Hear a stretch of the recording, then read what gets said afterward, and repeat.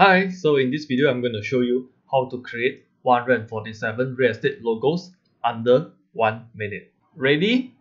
Get set, go!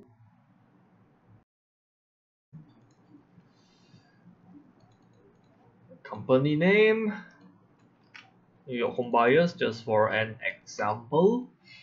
Uh, slogan, everybody want to sell their house fast. So yep, uh, I'll just close this all of them are updated. I'll then export all of them as PNG all of the slides and just wait just a little while uh, my computer is doing the work for me. And done. That's all. We just created 147 uh, real estate logos. Okay? So yeah. Here's how they look different colors, different icons.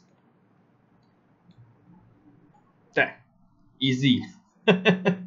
and we did it 147 logos under one minute.